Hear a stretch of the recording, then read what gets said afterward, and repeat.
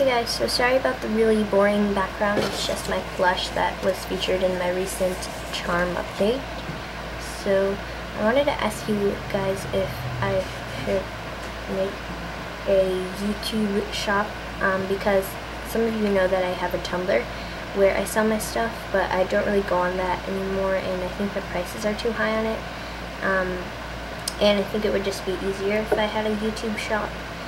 So yeah, if you want me to have some, it'll the prices will be really cheap. Like some charms will probably be ranging from 150 or a dollar to two um, like 50 depends on the details and stuff on the charm and probably doing custom orders as well and yeah so if you want me to open up a YouTube shop I will probably be like opening it soon and having like bottle charms and um, polymer charms and supplies like cell phone straps, eye pins, and stuff like that. So it'll just be like really fun YouTube shop um, and really cheap as well.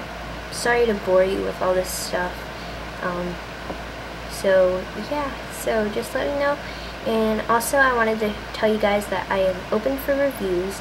So if you want me to review your stuff, just um, PM me and I will probably send you my address to send the stuff.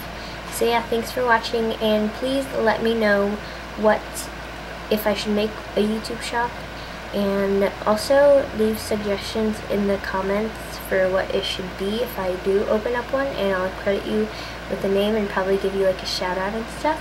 So yeah, thanks for watching and I hope you guys like this video even though it was kind of boring.